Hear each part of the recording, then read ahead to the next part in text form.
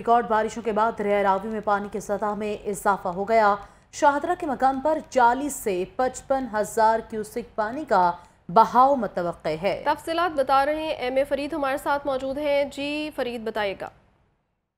हाँ जी बिल्कुल। आज की ताज़ा तरीन सूरत हाल के हवाले से दरिया रावी की आपको आगाह करता चलूँ कि अभी तक जो है वो स्टिल दरिया रावी में जो है वो पानी की सतह बुलंद हो रही है जिसका अंदाज़ा आप इस बात से लगा सकते हैं कि वो जो पिलर हैं मेन पिलर हैं जो ब्रिज के, वो कल तकरीबन कोई आठ आठ, दस दस फुट जो दिखाई दे रहे थे, लेकिन आज जो है वो पानी तकरीबन डेढ़ से दो फुट जो है वो मजीद जो बढ़ता हुआ यहाँ पे नज़र आ रहा है। उस पिलर पे जो निशान लगाए गए थे, वो आज जो है वो निशान नज़र नहीं आ रहे। वो वो निशान जो है, वो सलाबी सूरत हाल के हवाले से लगाए जाते हैं कि पानी की जो मकदार है वो कितनी बड़ी है। आज वो निशानात यहाँ पे नज़र नहीं आ रहे। कल हम जब यहाँ पे पहुँचे थे तो वो निशानात वाजिया तौर पे दिखाई दे रहे थे, लेकिन आज जो उस पिलर पे जो निशानात है, वो कोई भी नज़र नहीं आ रहे। अगर दूसरी जानब, पुराने रावी पुल से जो पानी का बहाव अगर कैमरामैन दिखा सके तो यहाँ पे पानी का बहाव भी इस वक्त जो है वो खासा तेज है दूसरी जानब स्टिल अगर बात करें यहाँ पे इर्द गिर्द आबाद जो है वो खाना बदोशों की बस्तियों के